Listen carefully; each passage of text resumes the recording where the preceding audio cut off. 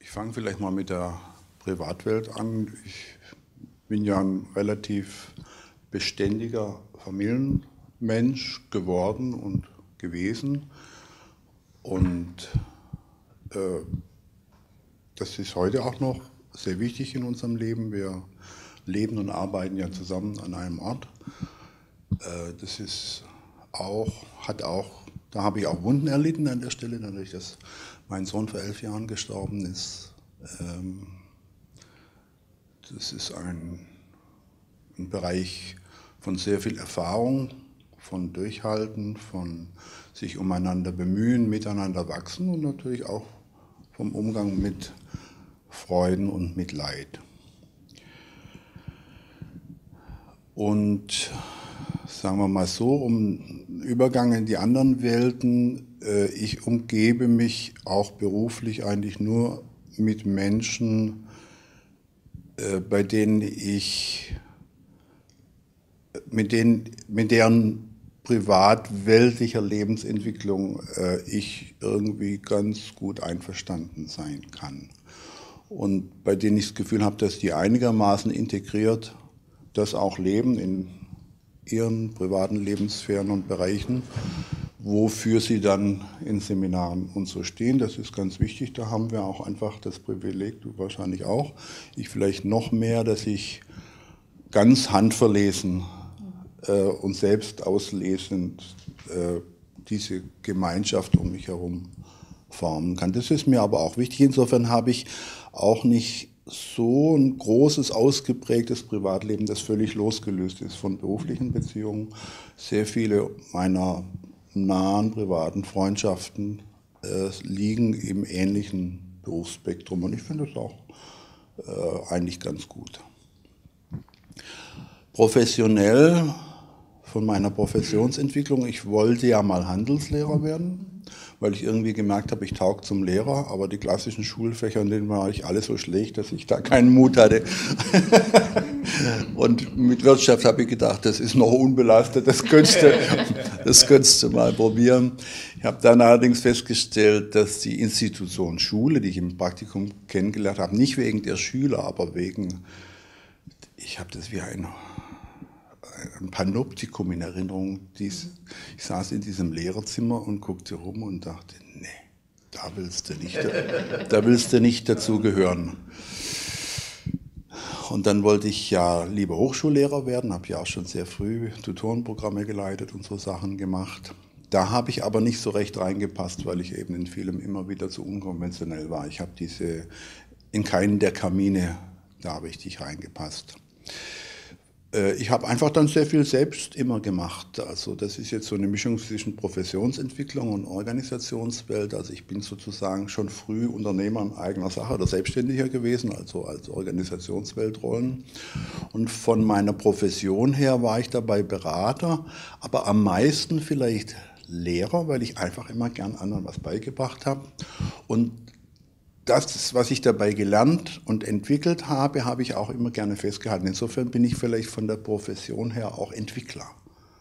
Und als Entwickler dann durch die Entwicklung von dem Institut und den Konzepten und den Vorgehensweisen und der ganzen Arbeitskultur her und dass ich, dass ich dem immer mehr Form gegeben habe und immer mehr Menschen einbezogen worden sind, bin ich einfach organisationsweltlich, wenn mich heute im, im äh, Hotel ich gefragt werde, was sind Sie von Beruf, sage ich dann Unternehmer, weil eigentlich, wobei auch das sich schon wieder entwickelt, also vom, vom Professionellen, vom Freiberufler zum Unternehmer und heute bin ich in manchem auch schon wieder Investor. Nicht so sehr wegen Investment von Geld, sondern Energie investieren in Felder, die entwicklungsfähig und zukunftsfähig sind. Und dadurch, dass ich ja eine Stiftung gegründet habe vor zwei Jahren und das Stiftungsgeschäft aufbaue, um unser Know-how eben auch der Gesellschaft unentgeltlich zur Verfügung zu stellen, bin ich auch ein Stück Mäzen geworden. Aber nicht einer, der dann eben sich zurücklehnt und sagt, ich gebe euch, stelle euch das zur Verfügung, macht was draus. Ich merke, es geschieht nicht das damit, was ich möchte. Deswegen bin ich auch da eigentlich Sozialunternehmer, Social Entrepreneurship und Entwickler von neuen Arbeitsformen und Geschäftsmodellen, wie dieses Zusammenspiel eigentlich aussehen kann von Profit- und Non-Profit-Unternehmertum. Also das ist bei mir immer auch alles ganz gut beieinander gewesen, das sich vielleicht auch durch die Räumlichkeit in Wiesloch äh, abbildet, äh, sodass ich eigentlich auf wenigen Bühnen unterwegs bin ich und nicht so meine Energien auf diese verschiedenen Welten nicht sehr verstreut sind, was ich persönlich ganz angenehm finde. Also bei mir ist es ein bisschen anders, aber auch wiederum äh, gibt es Parallelen zu. Die Trennung ist bei mir auch nicht trennscharf irgendwie. Das hat mich auch nie interessiert. Wobei mehr als bei dir zum Beispiel, du hast ja auch im gleichen Ort gehabt, mir war immer wichtig, hat sich aber geändert im Laufe der Jahre, die, die, diese, diese Gewichtung. Aber über lange Jahre war mir sehr wichtig, den Bereich, wo ich arbeite, also zum Beispiel hier, zu trennen mit ein bisschen Abstand von meinem privaten Bereich. Das wollte ich immer so. Das hatte auch mit, damit zu tun, sicher, dass ich aus einer Familie komme. Äh, mein, meine Eltern hatten auch so ein kleines mittelständisches Unternehmen. Da war praktisch die Familie überhaupt nicht abgegrenzt von dem Ganzen. Das war das wichtigste Familienmitglied war das Unternehmen und auch die Leute, die da gearbeitet haben, die sind da praktisch ständig rein und rausgegangen. Da gab es praktisch gar keine Abgrenzung. Und da war es für mich erstmal, denke ich, als Alternative wichtig, so das anders zu machen. Im Laufe der Jahre hat sich das wieder mit mehr Gelassenheit gelegt. Aber das war dann auch nur so eine formale Trennung. Wenn ich dann sonst so gucke, meine Beziehungen, da ist eigentlich durchgängig so, dass die meisten Leute, mit denen ich dann enger zu tun hatte über die Jahre oder mit denen ich befreundet bin, auch Leute sind aus diesem Bereich. Äh, mit unterschiedlichen Perspektiven, unterschiedlichen Zugängen, aber das ist ja gerade das Interessante, aber schon in dem Bereich so irgendwie.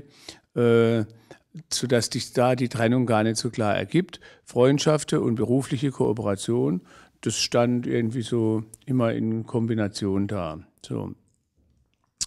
Und das ist mir auch immer ein Anliegen, weil eigentlich äh, die Art, wie ich versuche, zum Beispiel das jetzt in beruflicher Weise, äh, die Art, wie die Haltung äh, äh, gestaltet wird, die ich da anbieten will, auch in Weiterbildungen, die ich natürlich leben will, in der Art der Begegnung mit Leuten, die will ich natürlich zu Hause genauso praktizieren. Für mich ist das ein Anspruch, dass ich, wenn ich achtungsvoll mit Klienten arbeiten will, also zumindest mal genauso achtungsvoll daheim umgehen sollte mit den Leuten, äh, was nicht immer so einfach ist, wie man denkt, so ungefähr, je näher die Beziehung ist. Aber insofern ist das von daher sowieso äh, gar nicht so eine klare Trennung. Einerseits formal schon, ich finde es auch eine sehr sinnvolle, nützliche Unterscheidung, aber für mich selber in meiner Lebensgestaltung weniger.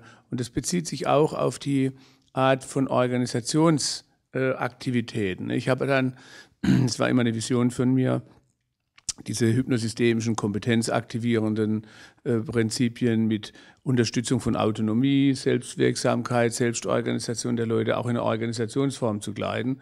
Und äh, das ist hier im kleinen Rahmen schon immer so gewesen, aber schon ganz kleiner Rahmen, so ein Institut.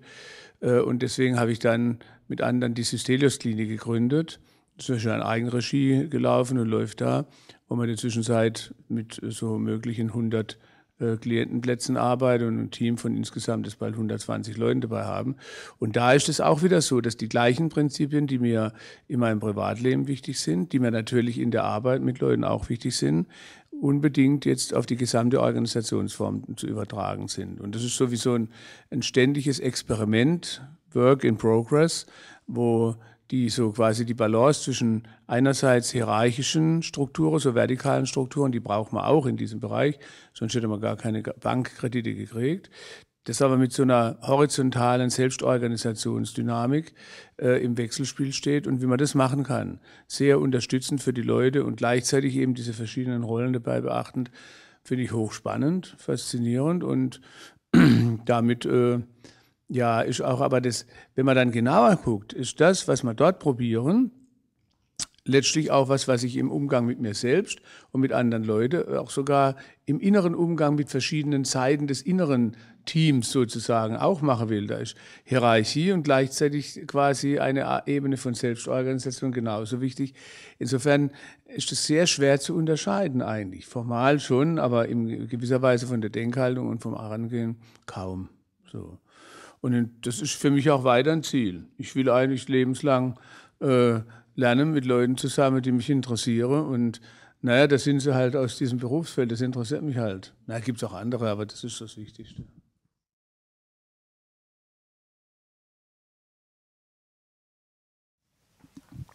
Da war ja äh, in den Fragen auch so die Frage nach den Unterschieden. Ich habe mir das jetzt nochmal überlegt, also ich habe jetzt zwischen uns zwei, also zwei Besch Unterschiedsbeschreibungen, die ich von mir aus machen würde, wo wir tendenziell verschieden sind. Also das eine ist, äh, dass ich selbst von meinem Wesen her stärker introvertiert bin.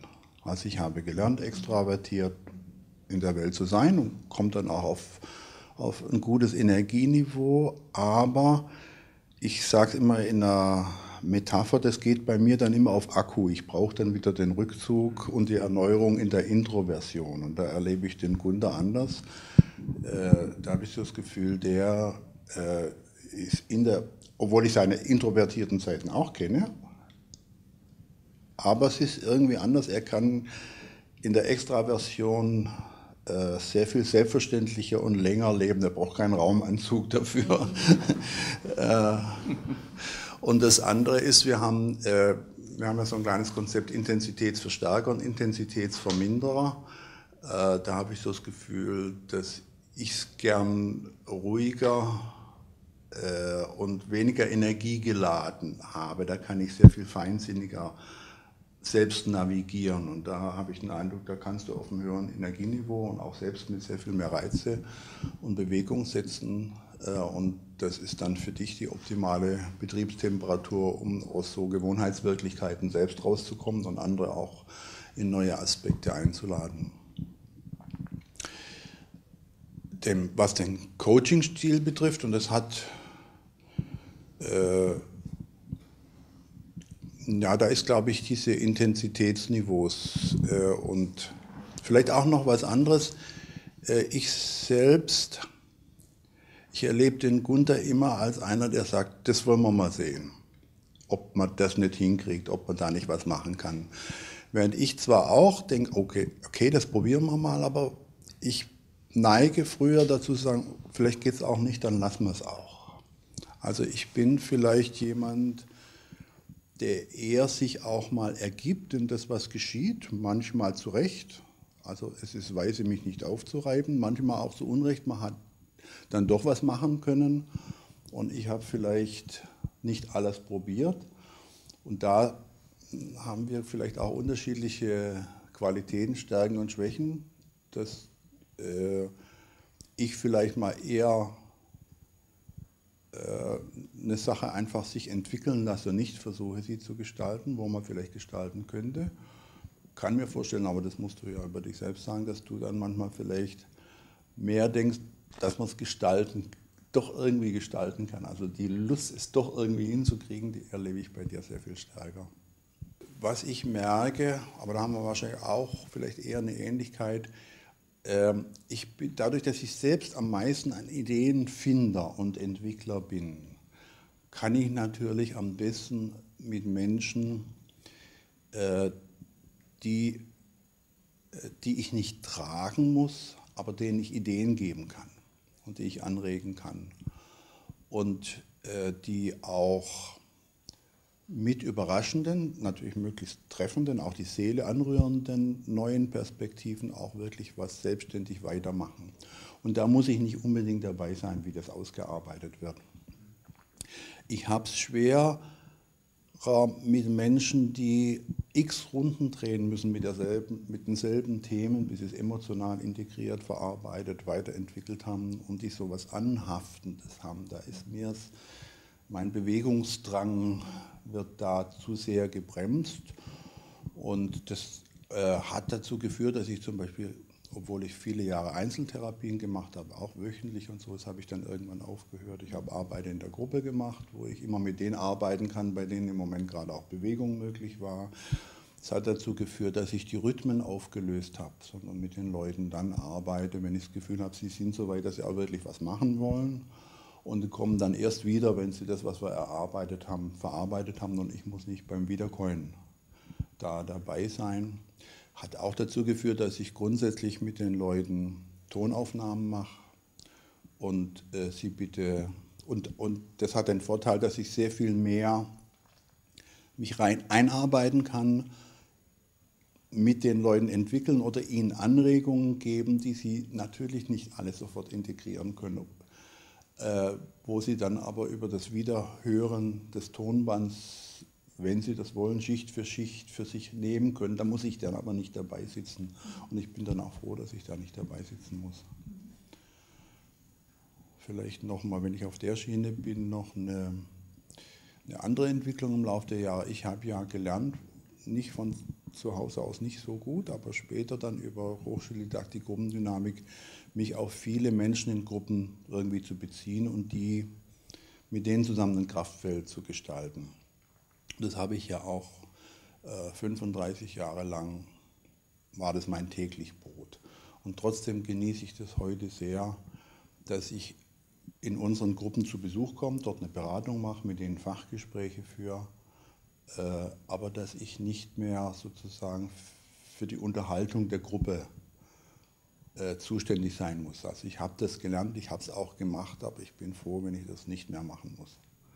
Ja, das ist, äh, das ist eine interessante Frage. Ich erlebe übrigens, wenn du das so schilderst, Bernd, auch viele Parallelen in der Hinsicht zwischen uns. Ähm, Wobei, da würde ich auch zustimmen, diese Art, das mehr das, das, das Extrovertierte ein bisschen mehr im Vordergrund, wobei ich mich selber oft sehr introvertiert erlebe. Aber das stimmt trotzdem. Äh, deswegen ist es für mich zum Beispiel noch immer so, dass ich gerne in Gruppen auch länger mit denen arbeite, weil das ist für mich so ein Inspirationsfeld dann so irgendwie, wo ich, natürlich könnte ich das vielleicht auch alleine, aber für mich ist, bewährt es sich mehr, äh, erstmal viele Stimuli auch aus der Gruppe aufzunehmen, die in mir dann wieder Such- und Entwicklungsprozesse anrege, die mache ich dann wieder gern alleine. Aber das ist irgendwie wie so eine Art, ja, so, so, so, so, ein, so, ein, so ein Reiz, äh, äh, so eine Reiztusche, die mir hilft, dann wieder das so in einer anderen Weise. Und das, da ist wirklich, glaube ich, ein, ein, ein Unterschied in der Hinsicht. Äh, was für mich, glaube ich, in, in, meiner Art, auch wie ich dann meine Konzepte entwickelt habe, aber wie ich auch mit im Kontakt mit den Leuten arbeite, äh, da ist das so eine, äh, ja, der Versuch einer Lösung von Dilemmata, könnte man sagen auch. Weil einerseits äh, bin ich jemand, der hat auch immer Ideen und würde gerne auch andere Leute dann dazu einladen. Da, das, ich würde es jetzt für mich nicht im, im, Verständnis eines Lehrers, aber eines Anregers, eines äh, intensiven Anregers verstehen. Das äh, habe ich sehr gern. Gleichzeitig ist das das, was mich immer am meisten innerlich in Schwierigkeiten gebracht hat, weil das hängt mit meiner ganzen Lebensgeschichte zusammen, auch dass äh, so nach dem Krieg ich äh, als, als Kind schon sehr unter dieser deutschen autoritären, äh, äh, verbrecherischen Geschichte in der Nazizeit gelitten habe. Und äh, das war mit auch sicher ein Grund, warum ich in die Studentenbewegung überhaupt reinkam. Äh, autoritäre Strukturen oder die Idee, dass einer sich über andere stellt, das war ein instinktives äh, so Rebellieren in mir schon von frühester Kindheit an da. Und das ist dann in irgendeiner Weise in meinem Erleben konträr geworden zu dem, na, ich will ja da Anregungen geben. Also wie war jetzt die Aufgabe zu lösen für mich? Das ist eigentlich ein Dauerthema immer noch für mich, dass ich auch in meiner Führungsrolle als, als ärztlicher Direktor und Geschäftsführer in der Systelius-Klinik Input gebe, zielorientierte Vorgaben womöglich mache oder auch Angebote mache, zum Beispiel in Coachings, und gleichzeitig die Autonomie, äh, die ja sowieso letztendlich gegeben ist, aber auch rituell deutlich unterstützen will. So. Da hat sich dann für mich so eine Mischform ergeben. Ich bin da sehr aktiv, oft auch in meinen Angeboten von Ideen, aber immer aus einer fragenden Haltung.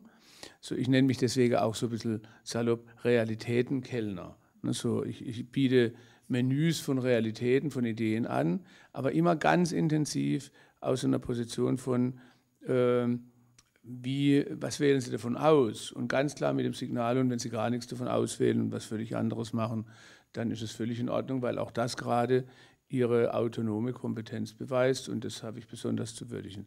So jongliert sozusagen eine persönliche Werthaltung, die schon ganz früh sich entwickelt hat, äh, äh, so, oder, oder die spielt dann rein in die Entwicklung von Coaching, Gestaltungsprozessen und so weiter. Sonst geht es mir aber auch ein bisschen ähnlich wie dir da. Ich habe früher mehr so einen Retterimpuls oft in meiner Arbeit gehabt, im psychotherapeutischen vielmehr. Das hat sich über die Jahre sehr gewandelt. Äh, ich mache praktisch nie, auch wenn ich Therapien mache, wöchentliche Abstände, weil ich diese Selbstverantwortung und Selbstorganisationsfähigkeit unterstützen will. Im Schnitt sind es auch bei Therapien, wenn es um heikle Sachen geht, äh, ja, dreiwöchige Abstände mindestens und auch immer ähnlich wie du, am besten mit Audio- oder Videoaufnahme, damit der Transfer in den Alltag, dort findet die Arbeit statt und das will ich immer mehr unterstützen.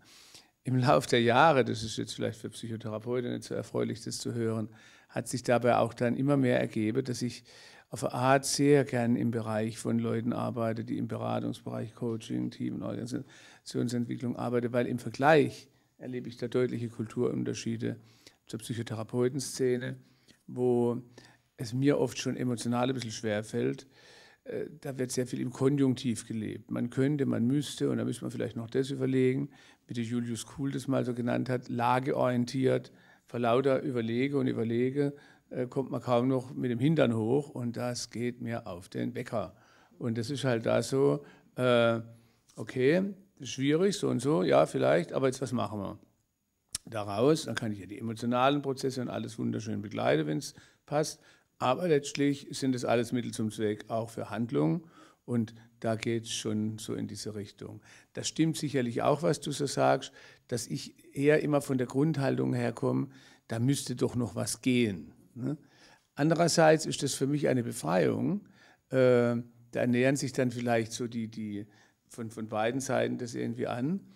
Auch einfach mal anzuerkennen, Endlichkeit und dass es vielleicht nicht geht und das auch mal zu würdigen, weil da liegt auch etwas, das Stichwort Würde ist da für mich ganz wichtig.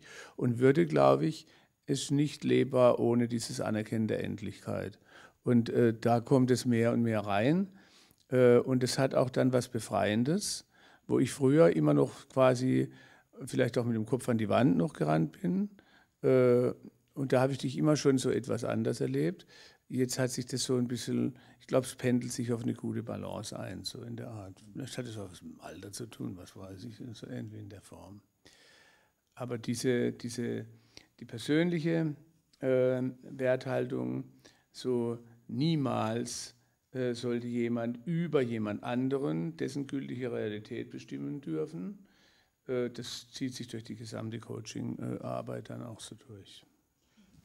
Ja, das, dieses Augenhöhe-Prinzip, ja. das, das ist uns beiden äh, sehr wichtig.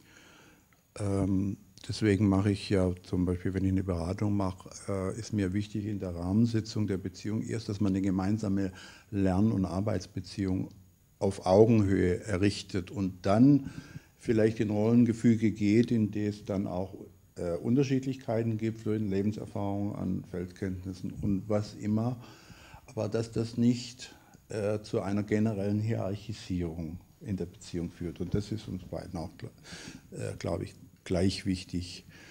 Äh, ich, äh, das hat was du gesagt hast, auch nochmal angeregt zu dieser Frage der eigenen psychotherapeutischen Arbeit. Ich kann das leider immer noch nicht beweisen, weil ich noch keine Wissenschaftler gefunden habe, die bereit waren, das zu untersuchen. Äh, aber ich würde mal behaupten, dass unsere Coaching-Ausbildung auch für das, wofür Psychotherapie da ist, für den Kreis, mit dem wir arbeiten, in den zwei Jahren nebenbei mehr Psychotherapeutisches leistet als eine Psychotherapie in dieser Zeit, obwohl äh, eigentlich bei uns die professionelle Qualifizierung und die Identitätsbildung als Professionelle im Vordergrund steht. Äh, und von, das ist auch einfach der Grund gewesen, wes, weshalb ich mich aus den Psychotherapiekulturen herausgelöst habe. Allerdings äh, will ich das jetzt nicht auf alle Menschengruppen, mit denen zu arbeiten ist, ausdehnen. Es gibt sicher sehr viele Menschen, für die das jetzt so nicht unbedingt gilt, aber für die Menschen, äh, mit denen ich arbeiten kann und die, die's auch, die auch zu mir kommen, äh, gilt es. Und äh, das wurde in der Psychotherapie, wie überhaupt dieser ganzen humanistischen Mentalität der 70er, 80er, 90er Jahre unterschätzt.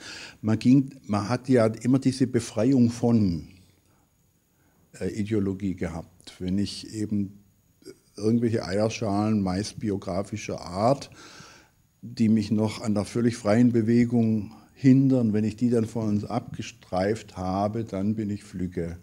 Und das stimmt halt nicht, man muss auch fliegen lernen. Also vielleicht schafft man es dann mal vom Nestrand wegzukommen und, und überhaupt lernen zu wollen, aber ob man ein guter Flieger wird, äh, das hat sehr viel mit Kompetenz zu tun. Oder umgekehrt, äh, wenn man weltbezogen, feldbezogen und aufs eigene We zum eigenen Wesen passend äh, lernt, in der Welt was zu tun und dafür ständig dazu zu lernen, ist das die beste psychotherapeutische Versorgung. Und von daher bin ich dann doch immer eher auf der Lernkulturentwicklerseite mit therapeutischen Effekten als auf der Psychotherapiekulturseite und habe entsprechend dann auch äh, meine, meine berufliche Entwicklung daran orientiert. Ah, das finde ich jetzt auch spannend, weil da gibt es schon wieder eine Parallele auf Art. Äh, das hängt natürlich auch damit zusammen oder, oder davon ab, was man unter Psychotherapie versteht. Ne? Und, äh, ja, ja, klar. Die, die klassischen Traditionen. Genau, genau. Aber da ist auch so, und das hat, wenn, wenn wir jetzt so mit diesem persönlichen Stil, ich glaube, das hat auch wieder damit zu tun. Ähm, dass, also äh, zum Beispiel auch meine Curricula, wenn ich so Weiterbildung mache, das ist für mich unheimlich wichtig, dass dort sehr viel auch, ja, man könnte sagen, Selbsterfahrung oder was weiß ich, wie man es jetzt nennen will. Also die Auseinandersetzung mit eigenen persönlichen Prozessen in Interaktion, immer mit dem Blick auf die Kontexte, äh, in denen dann die eine oder andere Art von Dynamik angeregt wird oder, oder, oder aktiviert wird, das ist für mich ein ganz wichtiger Punkt, dass das ein äh, ganz wichtiger Lernbereich immer für die Leute ist. Und da würde ich dir zustimmen. Das wäre mal ein interessantes Forschungsthema auch so.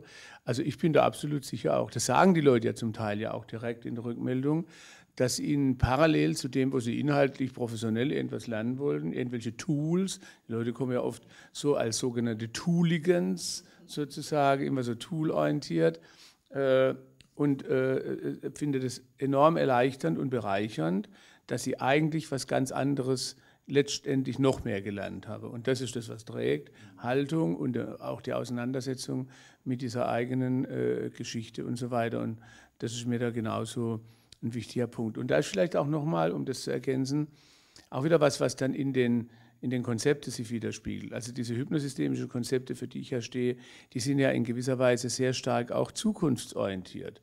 Das ist aber kein Widerspruch. Ne? Eigentlich der Sinn des Ganzen wird immer daraus abgeleitet, nicht aus der Vergangenheit, aus den Eierschalen, wie du das jetzt so, sondern aus der angestrebten Entwicklungsrichtung, aus dem Entwicklungsziel, für das man das macht. Das ist schon gleich eine Umfokussierung. Äh, das hat aber natürlich auch damit zu tun, äh, sicherlich, wie ich persönlich immer das erlebt habe, was hilfreich war und was nicht. Und nur in irgendwelchen Belastungen der Vergangenheit oder hauptsächlich mich damit zu beschäftigen, hat er auch persönlich mich immer eher runtergezogen. Und das war eigentlich nicht so sinnvoll. Da war natürlich der Milton Erickson der ideale Lehrer da dafür. Was aber auch wieder diese demokratische Auffassung, diese Auffassung auf gleicher Augenhöhe massiv unterstützt hat, weil eine quasi zwingende Implikation für mich, wenn ich davon ausgehe, auch wenn jemand zehn Jahre gelitten hat, furchtbar und so weiter, beweist das überhaupt nicht, dass er keine Fähigkeiten hat, sondern die Fähigkeiten halt quasi im schlummernden Potenzial sind, dann entsteht dadurch automatisch eine Position von Gleichrangigkeit. Der hat seine Potenziale, ich, und dann ist die Rollenverteilung anders. Insofern ist da zwischen persönlicher Auffassung und dem Beruf überhaupt kein Unterschied. Es geht gar nicht anders dann so. Äh, und äh, ja, durch diese mehr Kompetenzorientierung hat sich da eine Umgewichtung ergeben, die dann durch jeden Schritt in der, in der Arbeit, auch im Coaching und in Therapien äh, beeinflusst. Und das Interessante für mich war dann immer, umgekehrt habe ich diese Zukunftsorientierung nie ausreichend erlebt. Da hatte ich ja jahrelang immer die gleichen Diskussionen mit dem Steve DeShazer zusammen, wo ich immer so erlebt habe, das geht mir zu einseitig in die Richtung der gewünschten Zukunft, weil schon angefangen damit, dass meine Eltern im, im Widerstand so ein bisschen waren in, in, in der Nazi-Zeit. Das war für mich unheimlich wichtig, der Blick in die Vergangenheit, aber für Gegenwart und Zukunft. Immer so, dass, der, dass es gar kein Gegensatz wird. Und diese Integration, dieses Hin- und Herpendeln, um das dann wieder integrierend für eine sinnerfüllende Kraft nach vorne zu geben, das ist eigentlich das Hauptthema der ganzen Arbeit, aber auch der persönlichen Sache in Entwicklung. Das machen wir weiter mal. Jetzt, jetzt, kommen wir. Äh, das ist sehr anregend. Es gibt eine ganze Reihe von Dingen, die mir einfallen. Also das eine ist, da stimmt ja sehr zu in dem, was du gesagt hast, äh, von Bateson, äh, oder ich weiß nicht, ob es die Marcel Vini Palazzoli oder wer war, hat, hieß es mal, it takes three generations to produce a schizophrenic. Und das habe ich umgewandelt. Es braucht überhaupt drei Generationen der Betrachtung mindestens, um einen Charakter und eine Entwicklung zu verstehen. Und zwar nach hinten wie auch äh, nach vorne. Ja. Und deswegen habe ich mich ja zum Beispiel auch mit der Milieuperspektive im Coaching äh, befasst, äh, was eine häufig ausgeblendete Perspektive ist. Es kann nicht jeder alles werden. Ne? Und du kommst aus einem Mittelstandsunternehmens. Äh, ich hatte eine Mutter, die auch eine klein mittelständische Schneiderin war, eine Schneiderei hatte. Also man wird einfach, man atmet Dinge ein oder ererbt sie, sei es biologisch, sei es epigenetisch, wie man das vielleicht heute erklären würde, sei es kulturell, lernmäßig, Atmosphären geprägt. Und von daher hat man ein Spektrum von Möglichkeiten, also steht einem auch nicht alles offen. Und es braucht also für, für, für effektive Milieumigration, dass man es nicht nur kann, sondern sich auch in neuen Milieus daheim fühlt. Das ist oft eine Sache von zwei, drei Generationen, nicht nur bei Migranten, die von anderen Ländern kommen, mhm. sondern auch in Berufszweigen, in Gesellschaftssphären, äh, in, in Geistesdimensionen.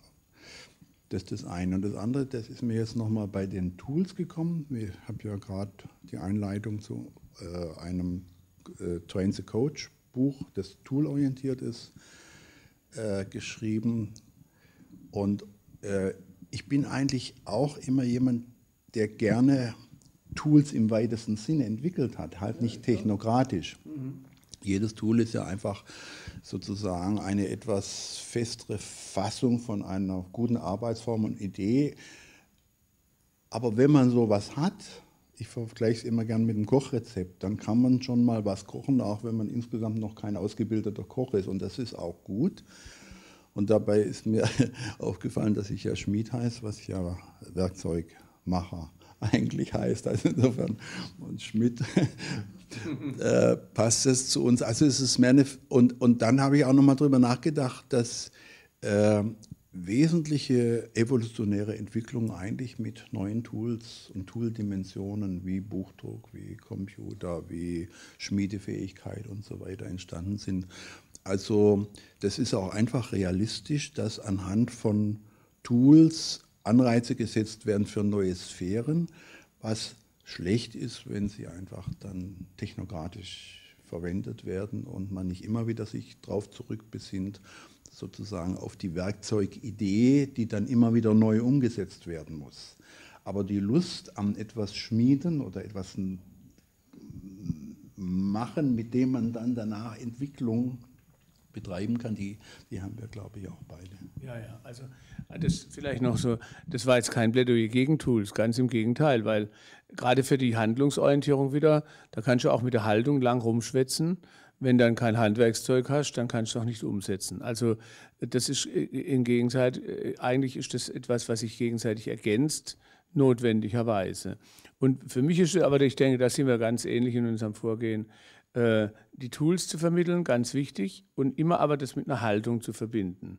Damit, und da ist auch wieder Vergangenheit, Gegenwart und Zukunft, also die drei Aspekte, für mich nicht voneinander zu trennen.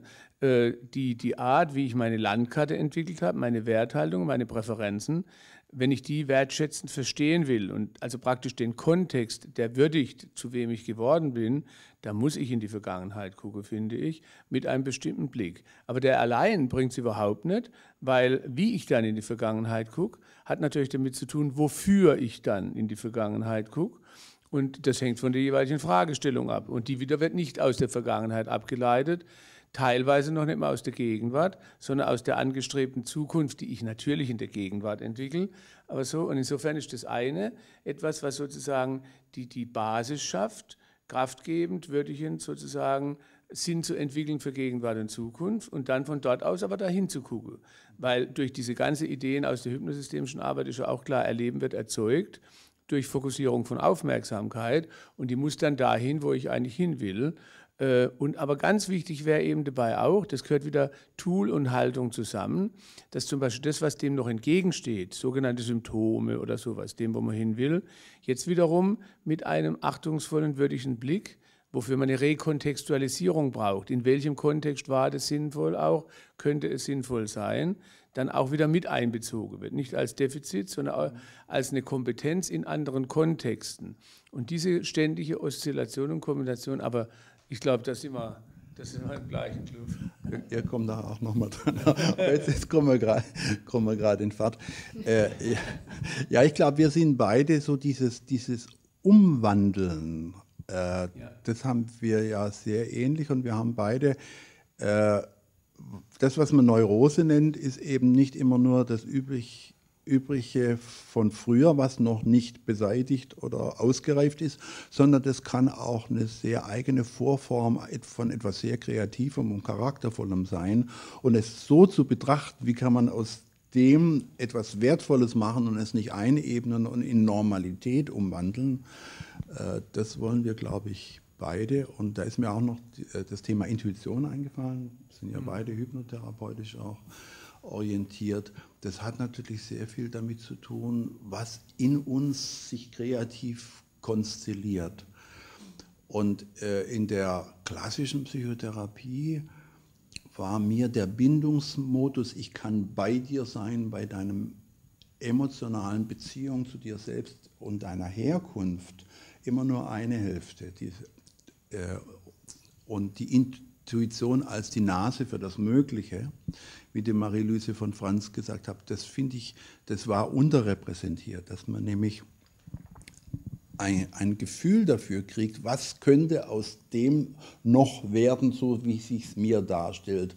Und ich mit dem Aktuellen im Hinblick auf das, was daraus noch werden könnte, arbeitet, wie du das gerade gesagt hast. Und das gilt fürs Persönliche, also für, für die Bilder, die wir uns von dem Wesen des anderen machen. Aber das gilt auch jetzt, wenn man in den Coaching- oder Organisationsentwicklungsbereich reingehen, hat es ja auch etwas damit zu tun, wie können wir uns Gesellschaft künftig vorstellen, wie können wir uns Organisationskulturen künftig vorstellen. Äh, und das ist etwas, was du nicht durch Rückbezug. Äh, lernst, sondern da brauchst du sozusagen eine gemeinsame Zukunftswerkstatt über das, was, was kann aus unserer Gesellschaft werden. Und wenn wir allein denken, dass wir ja, wenn wir als Menschheit überleben wollen, ein weniger ressourcenmörderisches äh, Wirtschaftssystem brauchen, das diesen Wachstumsfetischismus, quantitativen Wachstumsfetischismus hinter sich lässt und so, da müssen wir so viel neu entwickeln, natürlich unter Rückgriff auf Ideen, die es immer schon gab, aber wir müssen es heute völlig neu konfigurieren und das zusammenzubauen, wie das alles neu gestaltet werden muss, damit es zusammen ein funktionierendes, wenn auch mörderisches System ablösen kann. Das ist eine hohe kreative Leistung. Und wenn wir mit der Gegenwart arbeiten, eben jetzt nicht nur psychologisch, sondern auch Organisations- äh, oder aus Organisationskulturperspektive oder Gesellschaftskulturperspektive, dann müssen wir auch gemeinsam Visionen bezogen auf diese Zukünfte haben. Da würde ich dir auch voll zustimmen. Aber ich glaube, für jedes Coaching, das ist auch wieder interessant, ne? wenn man jetzt das äh, Dreieck Organisation, Privatwelt und äh, äh Professionelles nimmt. Äh, es wird ja oft auch Coaching so definiert, äh, und mir bereitet es aber ein Unbehagen, sage ich gleich, dass es sich nur um Professionelles, um Berufliches so geht. Und ich erlebe das ganz oft auch in Diskussionen mit Coaches dann, ja, aber jetzt hat er das und das da reingebracht, das geht jetzt aber ins Psychotherapeutische. Und da wird so eine merkwürdige Unterscheidung gemacht. Die hat aber damit zu tun, dass das so strikt getrennt erlebt wird, wie, oh, dann muss ich mich jetzt nur auf das Professionelle beziehen.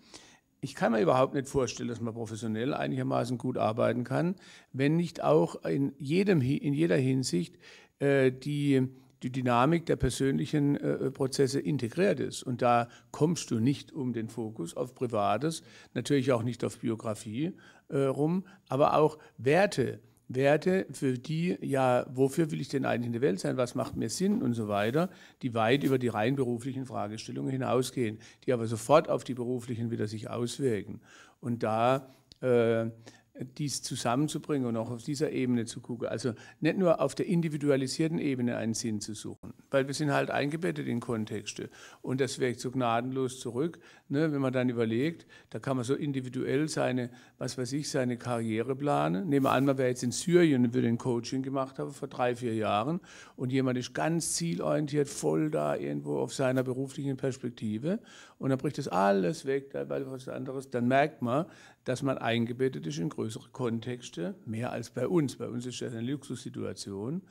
Und dann wäre es von vornherein gut, das mit einzubeziehen und dann zu gucken, was ist da äh, die stimmigste Balance in dieser Hinsicht. Äh, und ich glaube auch, also gerade wo du das sagst mit dem Gesellschaftlichen, ne, mir geht es dann oft so, wenn ich so dann sehe, was da so läuft und wie angefangen von der Bankenkrise, aber es jetzt, geht ja gerade so weiter immer noch und so.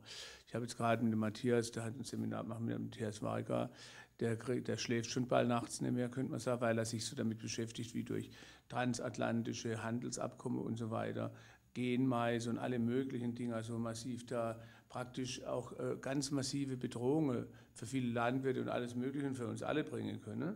Und es wird einfach so nebenher ein bisschen vergessen, fast so in der Art. Ähm, ja, da zeigt sich, äh, finde ich, ich kann das Individuelle nicht ohne diesen größeren Zusammenhang äh, da sehen. Und dann kriege ich eine andere Motivationskraft auch, wenn ich mir überlege, für was im größeren Zusammenhang will ich denn hier leben.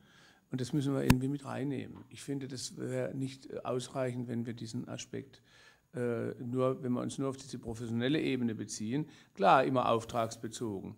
Wenn jemand das nicht will, dann will er es nicht. Aber das im Hintergrund immer mit dabei zu haben, das fände ich sehr wichtig da dabei.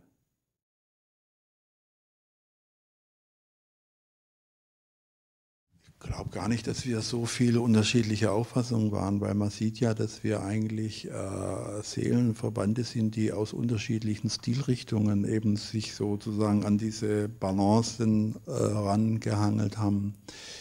Ähm, was wir immer schon äh, ein Stück unterschiedlich hat, ist einfach die Lebensführung. Da bin ich ja so ein bisschen so der Provinz, Provinzfürst, der auf seinem Gutshof hockt und die Leute kommen halt und das möchte auch so. Ich bin kein Reisetyp äh, und ich bin auch einfach nicht gern so viel auf so vielen Bühnen. Ähm, und äh, ich habe ein sehr geradliniges Privat- und Familienleben, wenn auch natürlich mit Einbrüchen und so. Und da hast du ja sehr viel buntere Erlebnisse, auch schon in der Studentenzeit, mit der Studentenbewegung. Da warst du ja auf dieser ganz wilden Seite, während ich ja in dem konservativen Mannheim war. Äh, also äh, du, du hast da, glaube ich, einfach auch immer sehr viel größere Ausschläge gehabt mit großer Intensität, mit großer Erfüllung. Ich sehe das auch, dass, ich, dass du auf die Weise viele Erfüllungen haben kannst, die ich nicht haben kann, die ich dir neide.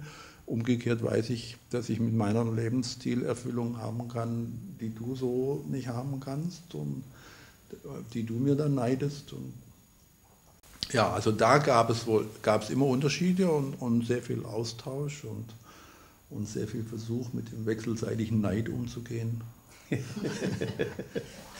Also das sehe ich genauso. Das ist mehr, ich denke, äh, und, und irgendwie nähern, also was ich sehr erfreulich finde, nähern wir uns anscheinend dann auch in der Integration der Polaritäten so ein bisschen mehr an im Laufe der Zeit. Ähm, aber ich sehe es auch mehr auf der Lebensstilebene. Die, die Denkhaltung war, vielleicht war das auch was, was von Anfang an äh, schon in der ersten Begegnung äh, uns mit aneinander angezogen hat. Also mir ging es jedenfalls so, dass ich das Gefühl hatte, na klar, der spricht eine andere Sprache sozusagen, der kommt aus einer anderen Richtung, aber irgendwo die Art, wie man die Welt begreift, wie man Begegnungen begreift und so weiter, die ist so ähnlich und äh, das war äh, für mich, das ist nicht so oft, dass man das so trifft, also ich jedenfalls, auch wenn ich viele Leute da so kenne.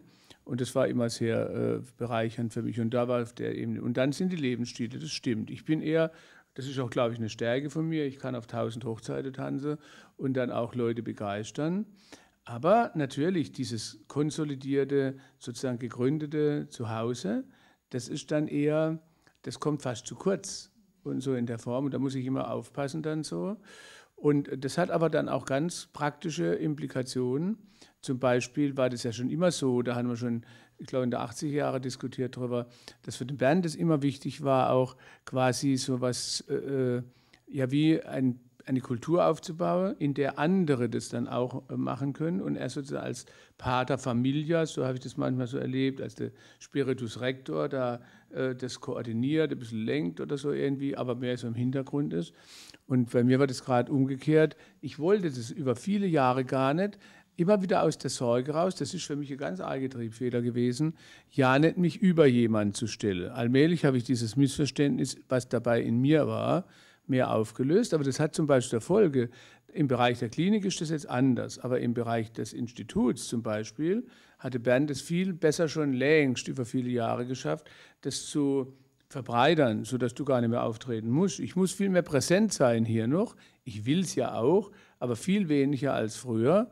Und da ist zum Beispiel etwas, wo ich jetzt im Nachhinein mit Wehmut an denke. Das ist das, was mit dem Beneiden manchmal denke, ha, das hätte ich auch schon vorher machen können, hättest du ein bisschen mehr dich vom Band anregen lassen. So, und da, früher wollte ich das überhaupt nicht. Ich, dachte, ich will nicht so ein paar der Familias da sein, da im Hintergrund. Aber es hat halt immer zwei Seiten. Und so, und hier ist dann dadurch eine Kultur gewachsen. Und das ist wirklich, das muss man ernst nehmen. Und, und auch da habe ich große Hochachtung wie, was das für eine große Vernetzungsbreite jetzt in der Zwischenzeit hat. Das ist eine mit Tausenden von Menschen erfassende, tragfähige Kultur, die viel besser vernetzt ist als zum Beispiel die, für die ich stehe. Die beginnt mehr und mehr vernetzt zu werden, aber sie ist nicht so verbunden und in dieser Dichte wie jetzt bei dir. Ja, aber du, aber du bist nach wie vor der größere Anreger. Also ich sehe es ja äh, ein ganz einfaches Beispiel, wir produzieren Videos und tun es bei uns auf die Website und wir geben uns wirklich Mühe, bei den Leuten gut rüberzukommen. Und dann haben wir es dann jetzt, also ist noch nicht so lange, aber dann haben wir es dann also bei, bei, den, bei denen, die am telegensten sind, dann doch immerhin auf 350 Klicks gebracht. Aber der Gunter Schmidt, der auf dem Dialogforum vom BBVC über sein Systelius-Konzept erzählt, wie er halt immer erzählt und sich keine besondere Mühe gibt, der hat halt 4.500 Klicks.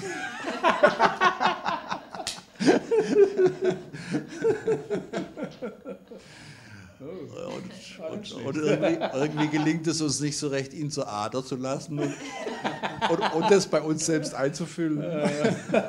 aber das muss man, ich glaube aber, das ist auch äh, eines der Geheimnisse unserer guten Beziehung, dass wir, einer, dass wir diesen, diese Unterschiedlichkeiten und diese Neid nie dominiert hat, dass ja. wir damit immer umgegangen sind was eben, wie man ja jetzt aus vielen Beispielen hören kann im Laufe des Lebens, und das ist ja das Jungsche Modell auch der Beziehungsgestaltung, jeder von dem, was zu ihm passt, vom anderen aus der Beziehung sehr viel lernt und integriert und wir beide dadurch ganzer werden.